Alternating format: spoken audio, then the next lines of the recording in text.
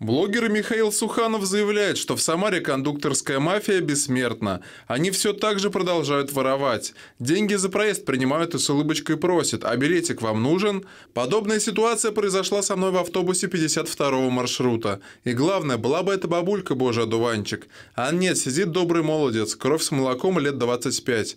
Обувает свой родной муп как может. За 20 минут, пока ехал до партизанского, успел положить в карман 200 рублей. На опасения пассажиров вдруг контроль на линии, парень отвечал. «Не, контроля не будет, я знаю». Получается, что пассажир автотранс несет убытки в размере 300%. 100% это зарплата кондуктору и еще 200 то, что он украл, негодует блогер. Блогер S7000 утверждает, что неформальная жизнь в Самаре, если и не кипит, то существует.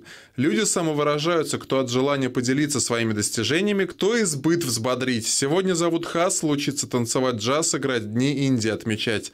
Завтра с путешественником встречаться, дизайном очаровываться. Дамам чайку в бутике попить, об автостраховании поболтать. Вот, например, фототусовка в субботу была. Пришли люди разного возраста и два часа о своем проговорили. Ну и поупражнялись в деле рисования рисования светом, пишет блогер.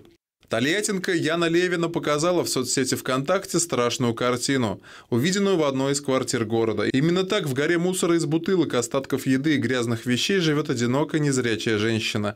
Ходить она тоже не может. Весь этот ужас на памяти себе оставил покойный муж, который ходил по помойкам и тащил все в дом. В квартире жесточайшая антисанитария. Толпа тараканов, мух и всевозможных мушек.